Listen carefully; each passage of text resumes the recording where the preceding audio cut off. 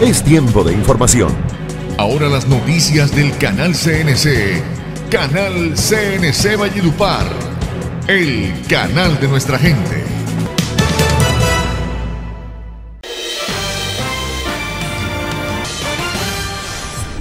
Alex Alberto Padilla Rosado, un arquitecto de 61 años, fue hallado sin vida en su residencia en el barrio obrero de Valledupar. Al parecer, esta persona habría atentado contra su vida mediante la modalidad de ahorcamiento.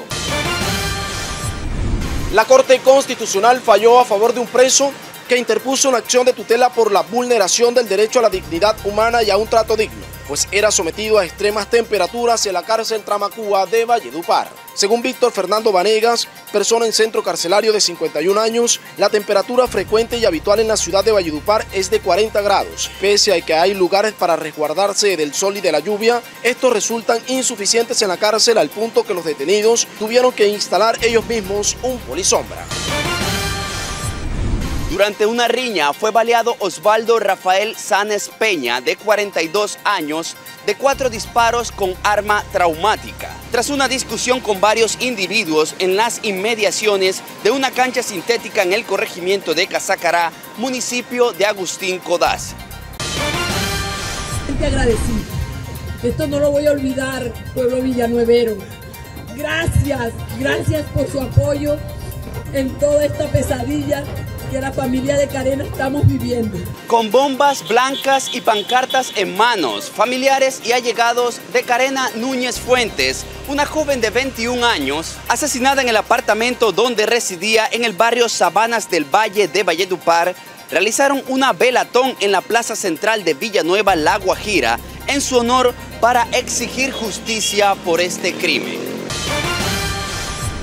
Todo está listo para la esperada media maratón de Valledupar que se celebrará este domingo 13 de octubre con la participación de 2.700 atletas provenientes de diferentes partes del país. Esta atractiva jornada deportiva de alto nivel, donde corredores profesionales y aficionados competirán en la carrera. Stewart Orlando Flor, de 21 años, asesinado de dos impactos con arma de fuego en el sector de las torres del municipio de Chiriguaná, junto a un panfleto tenía anotaciones judiciales por los delitos de violencia contra servidor público y hurto. En conmemoración del Día Internacional de los Animales, el equipo de Alianza Fútbol Club se unió a la causa animalista y organizó una actividad especial para los animalitos callejeros de la ciudad. Gracias a la gestión del animalista Adelis Gutiérrez y el concejal Manolo Fernández, los jugadores del equipo recibieron a varios animalitos callejeros en la cancha, buscando concientizar sobre la importancia de la adopción y el cuidado de los animales abandonados. Una recompensa de 20 millones de pesos ofrece la gobernación del Cesar por información certera que conduzca a los responsables del secuestro del comerciante Juan Galvis en el sur del Cesar. Los sujetos obligaron a la víctima a descender del vehículo para llevarlo a un rumbo desconocido. Solicitamos a la comunidad información útil a través de la línea 165 del Gaula y del 314-358-7212, línea contra el crimen. Alianza FC no levanta cabeza en condición de visitante. Esta vez perdió dos goles por cero ante el Deportivo Independiente de Medellín por la Liga Colombiana. No, sencillamente me genera mucha impotencia esta clase de compromiso. Porque se, habló, se organizó, se previno y nuevamente el error. Pero listo, pasó el error. Eso hace parte del juego pero después generar lo suficiente. En el fútbol, si generas, tienes que igualar las condiciones para que las cosas puedan fluir. Pero las decisiones que tomamos, o sea, me duele perder un partido de esto.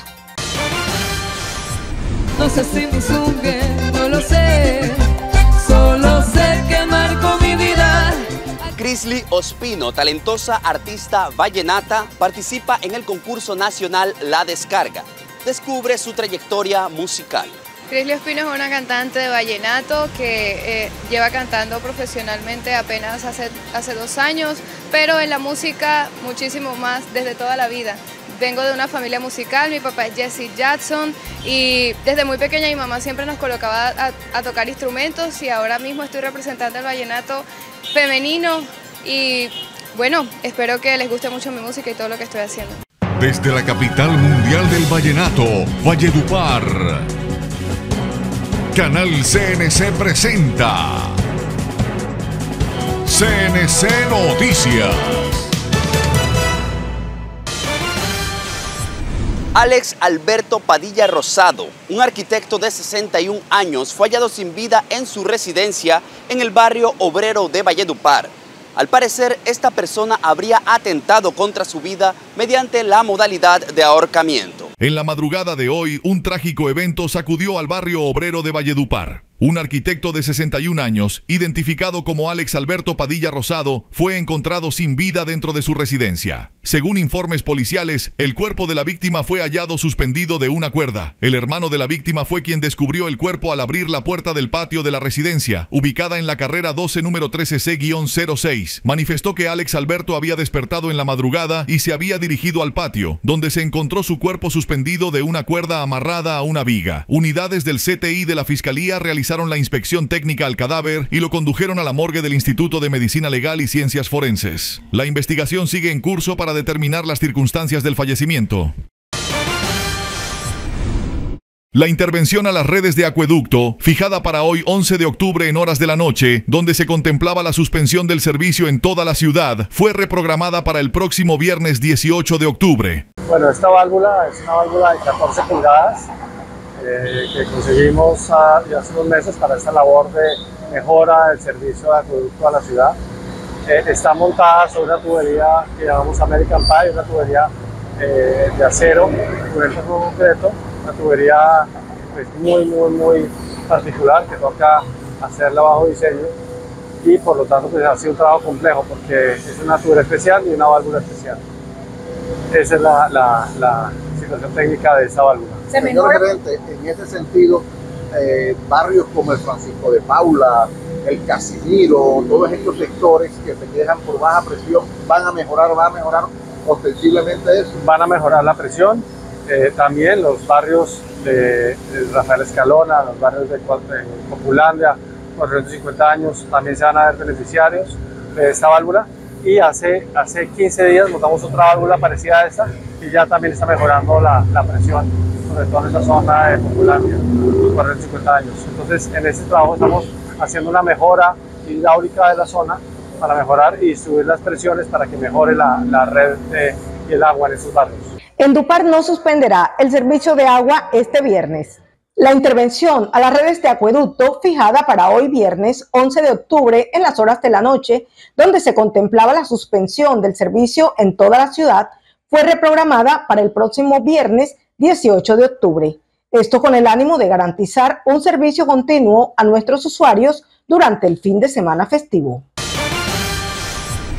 Durante una riña fue baleado Osvaldo Rafael Sanes Peña, de 42 años, de cuatro disparos con arma traumática. Tras una discusión con varios individuos en las inmediaciones de una cancha sintética en el corregimiento de Casacará, municipio de Agustín Codazzi.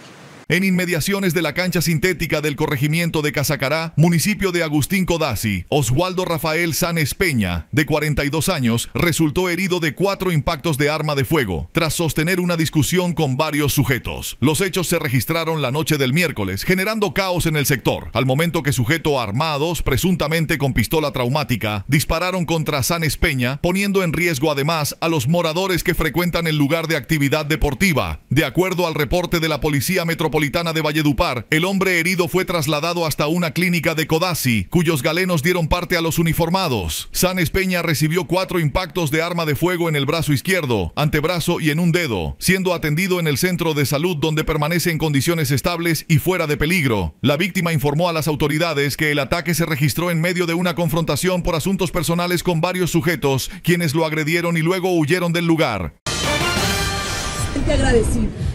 Esto no lo voy a olvidar, pueblo villanuevero.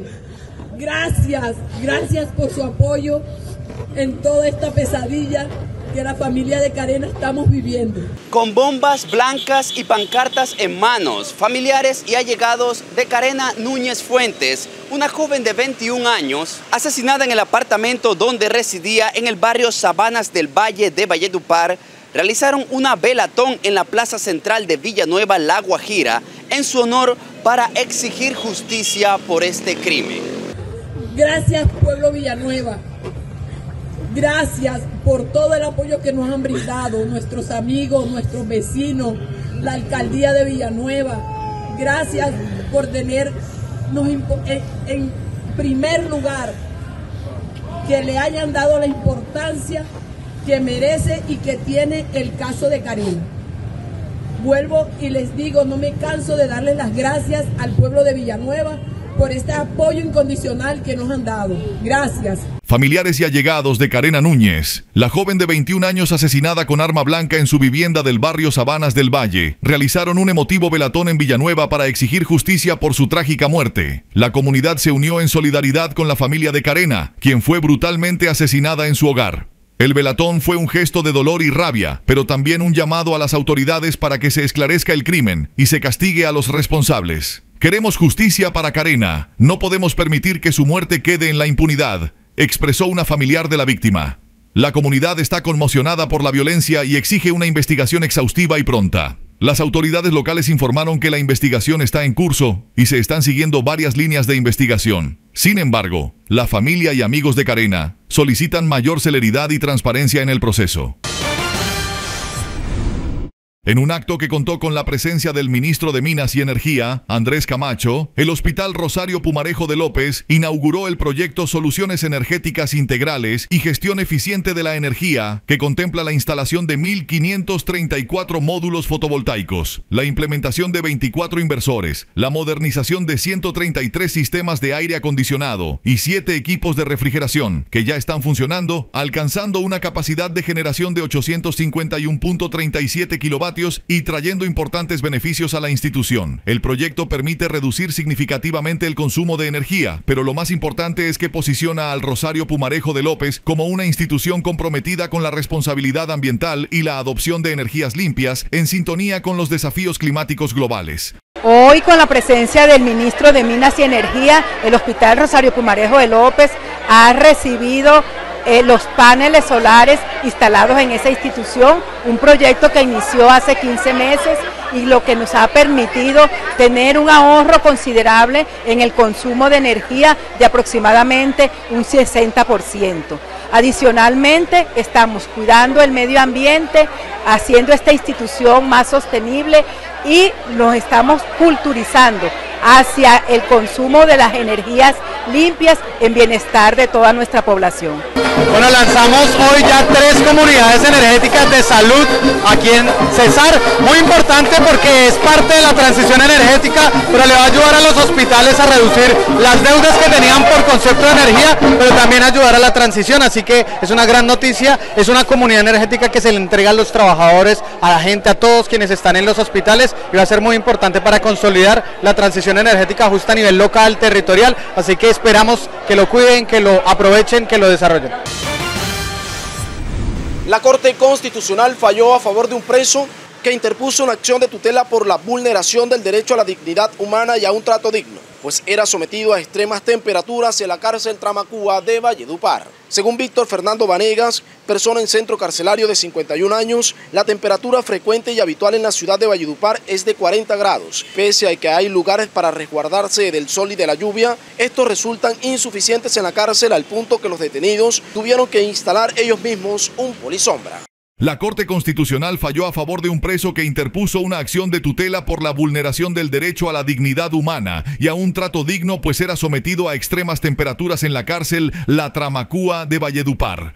Según Víctor Fernando Vanegas Martínez, persona en centro carcelario de 51 años, la temperatura frecuente y habitual en la ciudad de Valledupar es de 40 grados. Y pese a que hay lugares para resguardarse del sol y de la lluvia, estos resultan insuficientes en la cárcel al punto que los detenidos tuvieron que instalar ellos mismos una polisombra. De las 6 de la mañana a las 4 de la tarde estamos afuera de las celdas, en el patio de la cárcel expuestos a la lluvia y a temperaturas de 40 grados, sin un lugar donde resguardarse y descansar. Por el manual no se nos permite estar en las celdas antes de ese horario, indicó el demandante. Frente a este punto, la Corte ha precisado que toda persona privada de la libertad debe estar recluida en condiciones respetuosas del mínimo vital y de la dignidad humana bajo los siguientes criterios. Una reclusión libre de hacinamiento, contar con una infraestructura adecuada, no estar sometido a temperaturas extremas, tener acceso a servicios públicos, alimentación adecuada y suficiente. Es por eso que la sala considera que las difíciles condiciones climáticas de la zona en que se encuentra ubicado este centro penitenciario, agravada por fenómenos meteorológicos extremos como el fenómeno del niño y a la vez exacerbado por el cambio climático, determinan acciones tendientes a mejorar la infraestructura del lugar, de manera que los reclusos puedan contar con espacios para poder resguardarse del sol y descansar durante el día.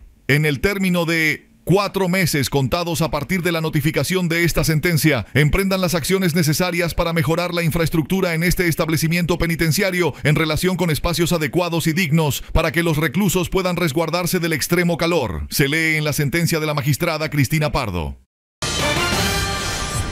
Todo está listo para la esperada media maratón de Valledupar que se celebrará este domingo 13 de octubre con la participación de 2.700 atletas provenientes de diferentes partes del país. Esta atractiva jornada deportiva de alto nivel donde corredores profesionales y aficionados competirán en la carrera. El evento dará inicio a las 5 de la mañana el domingo 13 de octubre y se recomienda a todos los corredores llegar temprano al Parque de la Leyenda Vallenata para evitar inconvenientes con los cierres viales.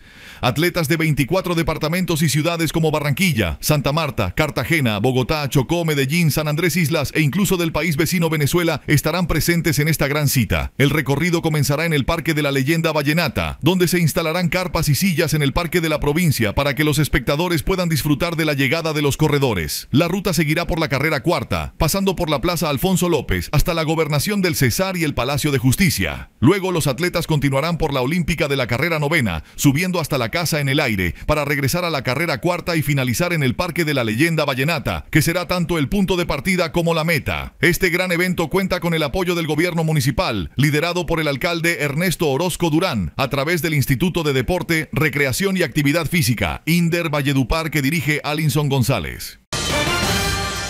En Mayales Plaza Comercial apoyamos los eventos de ciudad y promovemos hábitos y estilos de vida saludables.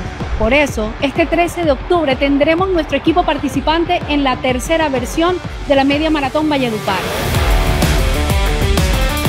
Quienes mantienen nuestras instalaciones pondrán a prueba sus fuerzas. Los que te dan la bienvenida en nuestros accesos mostrarán su resistencia. Quienes nos motivan a tomar medidas de autocuidado harán una pausa activa y llegarán a la meta. No solo garantizan el óptimo funcionamiento de la infraestructura, también se prepararon para cumplir su objetivo y cruzar la meta.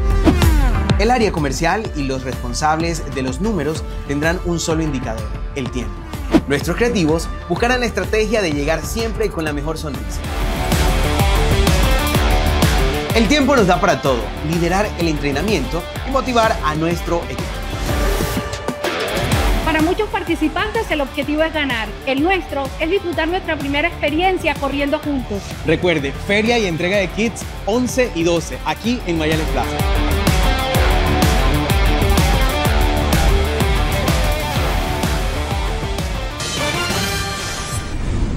Bueno, nosotros estamos aquí en este sitio porque de verdad somos personas desplazadas y no tenemos, no nos ganamos directamente un sueldo básico para comprar un lote para tener nuestra casa. Las personas que están aquí son personas necesitadas. Hemos sido personas desplazados. Sabemos que estamos en un país donde siempre hemos vivido en violencia, desplazados por paramilitares, desplazados por la guerrilla, desplazados por la de delincuencia común. Y no puede ser posible que hoy en día, en un terreno que de la gobernación, que del Estado, nos vengan a desplazar en el propio pueblo nosotros también. Hemos estado abandonados por el país, por las administraciones. Entonces yo creo que es hora de que nos tengan en cuenta. ¿A dónde están los derechos humanos? Para uno como pobre, para el pobre que camina de a pies. Yo creo que no lo hay.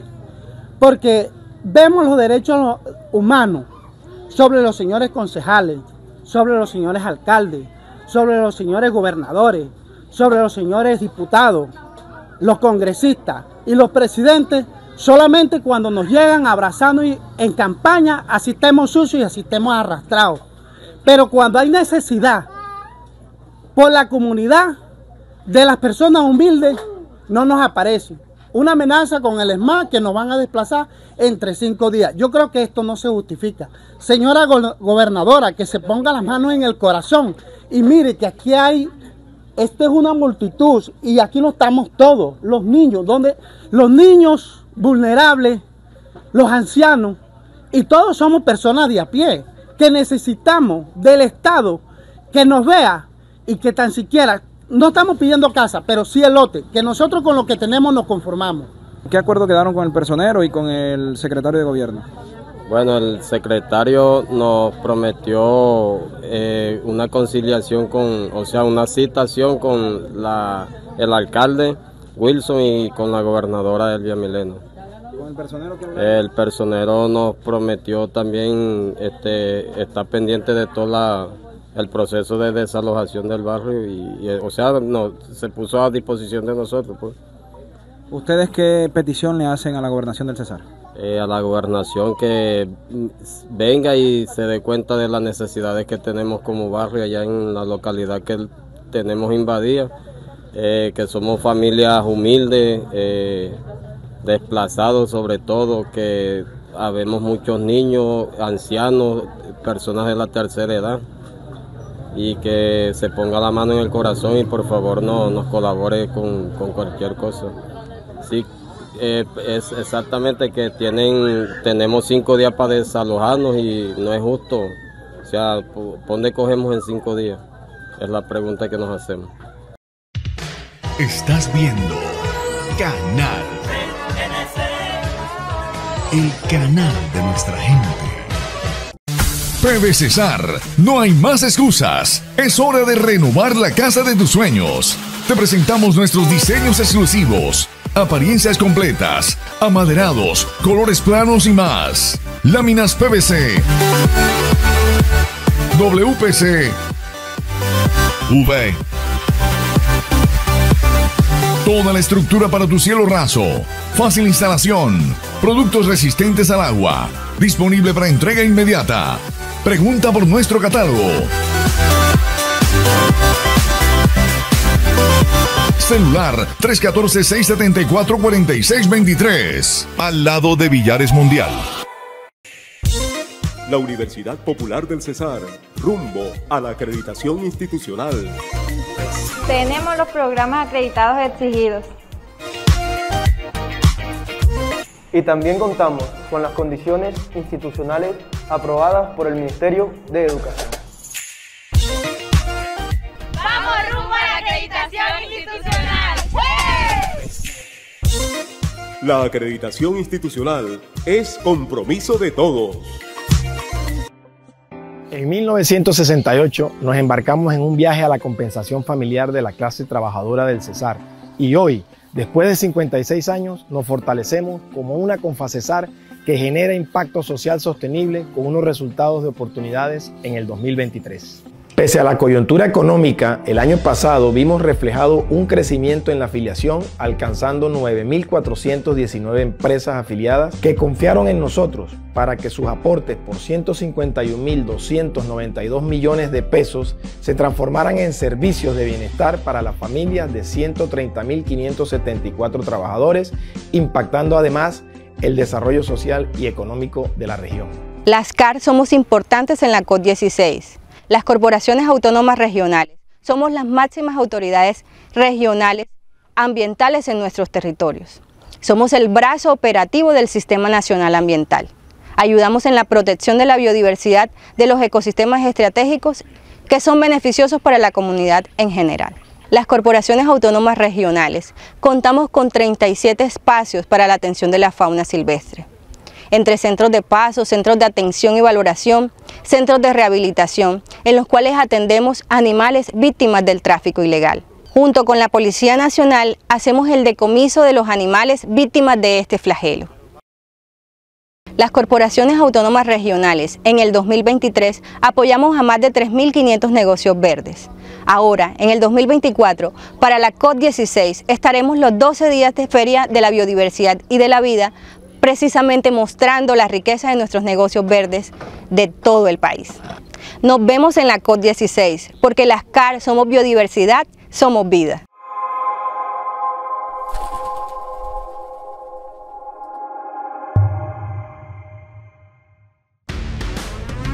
¿Necesitas seguridad preventiva vehicular y cuentas con poco presupuesto? En Centro Multiservicios GPS Alarma CJ tiene para ti la forma más fácil y económica de lograrlo. Paga el monitoreo de seis meses y el GPS te lo prestamos en comodato, instalado y con garantía. Me acaban de robar el vehículo de placa APL 31E. Señor Mesa, ¿se encuentra usted bien? Sí, sí. ¿Qué modalidad fue el robo? A mano armada. Nuestro personal de búsqueda y recuperación en compañía con el cuadrante van hacia la ubicación que arroja el GPS. Por favor, diríjase a un CAI de la policía más cercano. Esté seguro y espere nuestro llamado. No esperes a que te lo cuenten. Rueda Seguro 4G por todo el territorio nacional 24-7. Contáctanos a la diagonal 18 de número 2050 Valledupar o nuestra cuenta Instagram arroba GPS o nuestra página web www.gpsalarmacj.com. Nuestra prioridad es tu seguridad y la de tu vehículo. En el grupo empresarial Carpio, conformado por Carpio Firma de Abogados y Carpio Bienes Raíces, contamos con un equipo capacitado para brindar los más eficientes servicios de asesorías, consultoría, interventoría en el área legal, así como el área de la administración de inmuebles.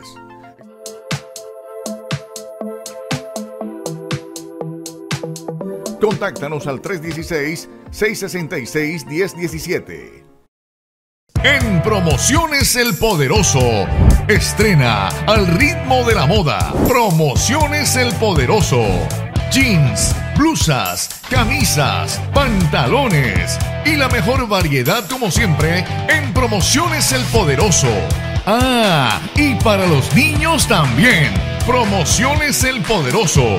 Estamos ubicados frente al Parque de las Almojábanas, La Paz Cesar. Promociones El Poderoso. El ICBC es una institución que marca la diferencia. Prestamos servicios como cardiología clínica, cardiología intervencionista, programa de cirugía cardiovascular, hemodinamia, electrofisiología e intervencionismo neurocardiovascular, vascular periférico, métodos diagnósticos destacando cardiología no invasiva. Además, contamos con el servicio de unidad de cuidados intensivos y hospitalización, un equipo humano comprometido en el cuidado y monitoreo de nuestros pacientes, brindando un servicio oportuno según la necesidad. Nuestro lema es Por el corazón del valle. Le ponemos el corazón para el bienestar de nuestros pacientes. Somos el Instituto Cardiovascular del Cesar. Ricardo Rojas Osorio, especialista en diseño y confección de moda masculina a la medida. Brindamos asesoría de imagen completa y además presta los servicios de entalle y arreglos de toda clase de prendas de vestir. Aparta tu cita al 318-401-0676 o visítalos en la carrera cuarta, número 13A bis 07. Ricardo Rojas Osorio, te llevamos a vivir la experiencia del buen vestir. Mes de octubre, Mayale Plaza Comercial está encantado. Disfruta de nuestras actividades institucionales y nuestros sorteos promocionales. Este 31 de octubre tendremos nuestra Feria Encantada. Intensamente estará en nuestro parqueadero. Conoce a tu personaje favorito y comparte con él. Y no podemos olvidarnos del gran Garfield, nuestro querido personaje que nos hará reír y disfrutar con sus ocurrencias. Vamos a tener una tarde espectacular. Ya sabes, disfruta de nuestra agenda de eventos y de nuestras marcas. Con la magia de las calabazas y las arañas, guarda tus mejores recuerdos en nuestras estaciones. Estamos seguros que octubre te va a encantar. Verte en Mayanes Plaza Comercial es lo máximo. Estás viendo Canal. El canal de nuestra gente. En conmemoración del Día Internacional de los Animales, el equipo de Alianza Fútbol Club se unió a la causa animalista y organizó una actividad especial para los animalitos callejeros de la ciudad. Gracias a la gestión del animalista Adelis Gutiérrez y el concejal Manolo Fernández, los jugadores del equipo recibieron a varios animalitos callejeros en la cancha, buscando concientizar sobre la importancia de la adopción y el cuidado de los animales abandonados. Los animalitos que participaron están disponibles para adopción. En un giro emotivo, los gaticos abandonados horas antes del partido fueron acogidos por el equipo y ya encontraron un hogar. Para información sobre adopción, comunícate al 3127-970935. Este evento demuestra que el deporte y la solidaridad pueden unirse para hacer una diferencia en la vida de los animales y la comunidad. Gracias a Alianza Fútbol Club por su iniciativa. Y hoy estamos aquí en compañía de nuestro equipo de la Alianza FC, promoviendo la adopción responsable, promoviendo la tenencia responsable de mascotas. Por eso lo que nosotros queremos y lo que nosotros promovemos es a que adoptes, pero que no solamente adoptes, sino que sea una adopción responsable y que cuides a tu mascota. Esa es la invitación que desde la Fundación Animals Paradise y desde Alianza FC una recompensa de 20 millones de pesos ofrece la gobernación del Cesar por información certera que conduzca a los responsables del secuestro del comerciante Juan Galvis en el sur del Cesar. Los sujetos obligaron a la víctima a descender del vehículo para llevarlo a un rumbo desconocido. El día 9 de octubre, en zona rural de La Gloria, se reportó el secuestro de Juan de Dios Galvis Quintero por sujetos armados mientras se desplazaban en un camión. La comunidad alertó sobre el suceso, desplegaron recursos humanos y técnicos del Grupo Especial de Investigadores del Gaula de la Policía Nacional y en la zona se encuentran en estos momentos unidades de inteligencia que trabajan en coordinación con la Fiscalía para lograr la liberación del ciudadano y dar captura con los responsables de este hecho. Solicitamos a la comunidad información útil a través de la línea 165 del Gaula y del 314-358-7212, línea contra el crimen. La gobernadora Elvia Milena San Juan rechaza de manera rotunda este nuevo secuestro que se presenta en el departamento del Cesar. Y en una mesa de seguridad que acabamos de terminar con el coronel Eduardo Chamorro, hemos tomado la decisión de ofertar hasta 20 millones de pesos de recompensa por información oportuna que nos permita dar con la captura de estas personas que realizaron este secuestro en el departamento del Cesar. Stewart Orlando Flor, de 21 años, asesinado de dos impactos con arma de fuego en el sector de las torres del municipio de Chiriguaná, junto a un panfleto, tenía anotaciones judiciales por los delitos de violencia contra servidor público y hurto.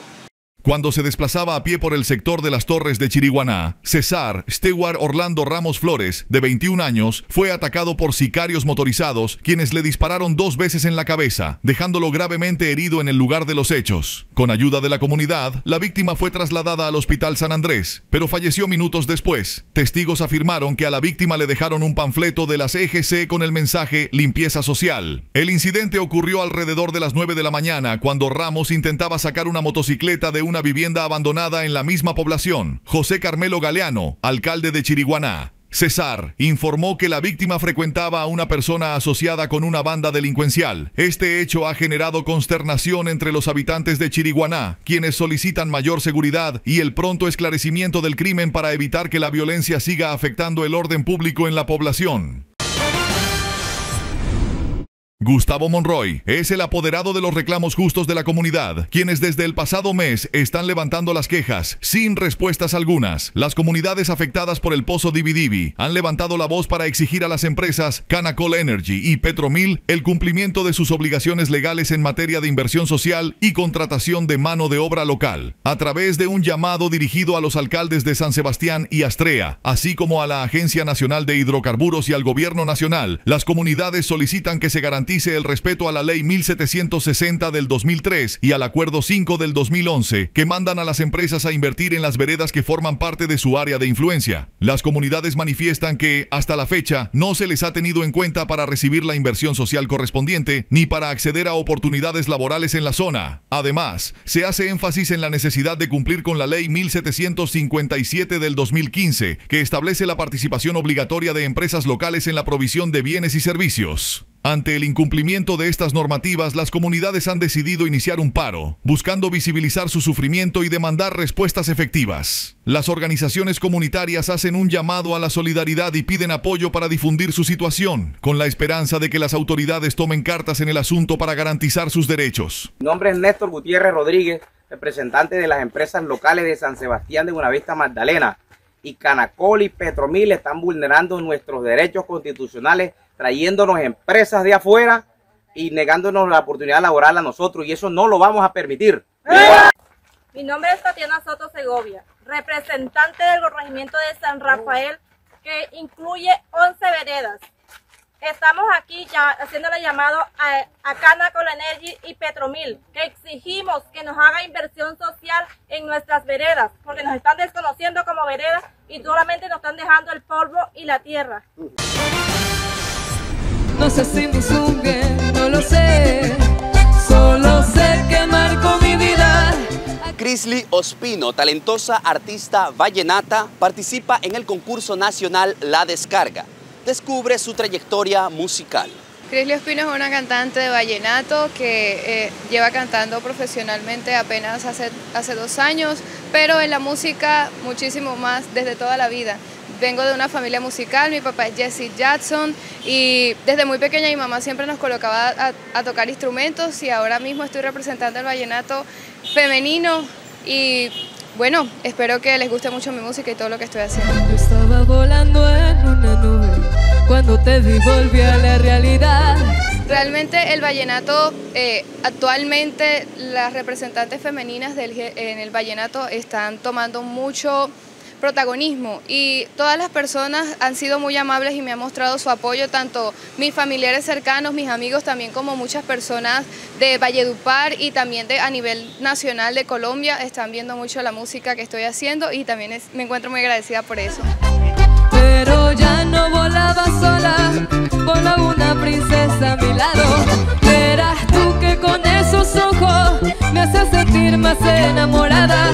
Yo soy enfermera profesional y hace alrededor de dos años eh, me contactó la agrupación del maestro Omar Geles. Eh, por medio de mi hermano necesitaban una voz femenina y el productor Fernando Daza me llamó para ser parte de la agrupación, me hicieron una prueba. Cuando yo fui ni siquiera me sabía las canciones, pero las iba practicando en el bus, hicimos una presentación y me quedé allí hasta eh, la partida del maestro. Y ahora tengo mucho miedo, si eres tú lo que soñaba, si eres tú lo que buscaba y al final lo puedo ver. Y ahora tan solo hace falta que no estés enamorada, que no estés ilusionado y no te la puedo esconder. Desde muy pequeña, yo canto, como te digo, vengo de una familia musical y yo canto desde que me acuerdo. Mi mamá siempre ha sido la promotora de esto, incluso cuando estábamos más pequeños fui parte de, los niños del vallenato de la Fundación del Festival, la Escuela Rafael Escalona. Allí estuve más de siete años y gané experiencia en todo esto de las tarimas, el vallenato eh, más clásico y también,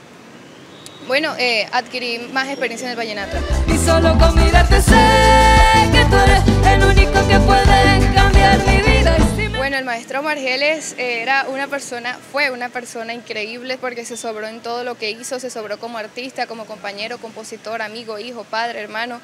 Y realmente aprendí mucho de él porque él fue el que me sacó de la enfermería para llevarme nuevamente a las tarimas y hacer música y es lo que realmente lo que yo más amo hacer de todas las cosas que he hecho en la vida y me siento muy agradecida por esa oportunidad. Nosotros tuvimos la, eh, la oportunidad de compartir tanto en estudios como en tarima, tanto en los buses, en la composición, me ayudó también a iniciar, retomar.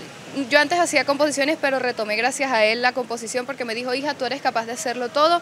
Y el último mensaje que vi de él fue, en el nombre de Jesucristo, este año consolidamos tu carrera. Si me pides que camine, caminaré. Yo cambiaré. Bueno, mi papá, Jesse Jackson, él siempre ha sido de apoyo y es el que nos direcciona y me dice, hija, tienes que hacer esto de esta forma, no te vayas a quedar corta aquí porque tú eres capaz y tienes el talento para realizarlo. Y también mi mamá ha sido muy buena influencia en eso porque es la que más me encamina como que estás haciendo esto mal aquí, corrígelo aquí. Y bueno, la familia siempre, siempre son un gran apoyo para nosotros y estoy muy agradecida de tenerlos. Te comeré a besitos, besitos, cantaría Sabrán de Crislin en estos días porque voy a estarme presentando aquí en la ciudad de Valledupar, en las casetas más conocidas, junto a otros talentos vallenatos, gracias a Dios. Y en las plataformas digitales se encuentra disponible mi último proyecto DVD, que fue Consta, de siete canciones del maestro Omar Geles, las más reconocidas, junto con toda su familia musical. Este homenaje se llama Omar Geles se sobró porque, como te dije, él se sobró como persona, como amigo, como compañero y muchísimas otras cosas más que son resaltadas allí. ¿Por qué es tan tan, tan particular este homenaje y es diferente a los demás, porque viene de parte de toda su familia musical y como nosotros sabíamos, eh, lo acompañamos él mismo, nosotros hacíamos eh, las mismas frases que él decía en vivo, los mismos pases y por eso también viene muy muy especial por todo el cariño y el sentimiento plasmado en cada una de las canciones. Búsquenlo en todas las redes sociales, se encuentra como Omar Geles se sobró y a mí como Crislio Ospino, CR y Latina SL Y de Yankee al final Ospino y van a saber mucho de música, estaré mostrándoles todo este proceso que estoy haciendo. Ahora mismo, gracias a Dios, estoy participando en un concurso de, de Caracol Televisión llamado La Descarga. Hicimos la audición el día lunes y gracias a Dios pasé a la siguiente etapa con esos cuatro mentores tan exigentes que son Maía, Guzzi, Santiago Cruz y Marbella. Besitos, besitos, te gastaría mis labios en tu piel, te comería besitos, nada más, de la cabeza los pelos, pelos, pelos, pelos, pelos. Solo para ti, mi amor. En Promociones El Poderoso. Estrena al ritmo de la moda. Promociones El Poderoso. Jeans, blusas, camisas, pantalones y la mejor variedad como siempre en Promociones El Poderoso. Ah, y para los niños también.